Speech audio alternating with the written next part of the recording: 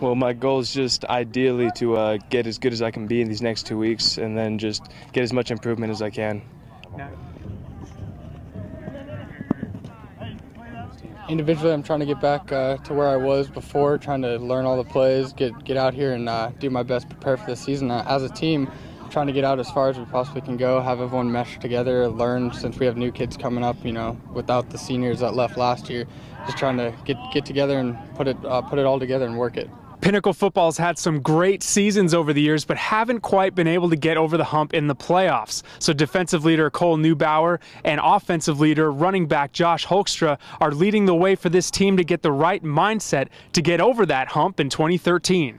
Well, usually we haven't hit that uh, that drive to go for that championship until about midway through the summer. So, senior year, got to take the leadership and then just uh, start that drive right now as soon as we can, and then hopefully it carries through up until the season, and then we get all the way we can. We're just trying to get everyone's head in the game. Uh, like he said, start now, start, get everyone going now, and uh, push push all year. Don't uh, don't stop the drive from now till the end of the season. Hopefully, we'll be in state and win it all. As far as the team goes, I'm just hoping to uh, to be the best team that Pinnacle's had just in uh, school history, and that's uh, really as best as we can do.